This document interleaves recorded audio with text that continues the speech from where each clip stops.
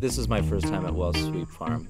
Um, it's a really important part of research and development. So what we do is we find these new uh, these new farms, especially this one's an herb farm, and he just has so many different varieties of herbs. So it's important that we get to come here, we get to pick the herbs, we get to crush them, smell them, and find out what the aromas are, uh, and try to figure out where we can place this in a dish, or even come up with the concept of a dish given the herb, the aroma, its historic value. When you're stuck in the kitchen, uh, it's really easy to just kind of get stuck on your own philosophy and really not see what's outside of the walls.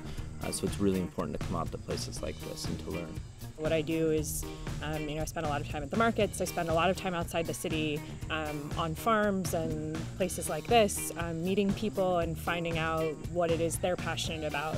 And then once I have an understanding of what Matt's really excited about, kind of as I go through, you know, my everyday life, you know, I kind of always have this filter on of, you know, being aware of things that Matt might be excited about and then kind of trying to bring him those things and helping to build a relationship around a shared sense of excitement and passion for these really beautiful food things.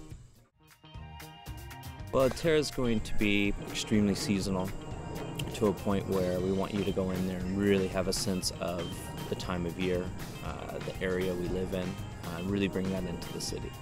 I think the number one thing about being in the Northeast is just going to be a full four seasons, you know, and in the middle, in the dead of winter, really trying to get creative to see what we're going to use and what we're going to do.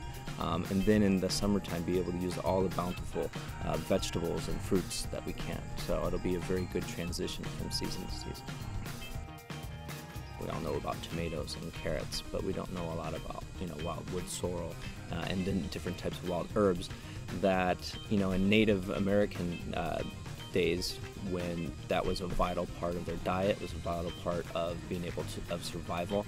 Um, so I think it's really important, especially if we want to get in touch with the land, uh, to really not overlook those things.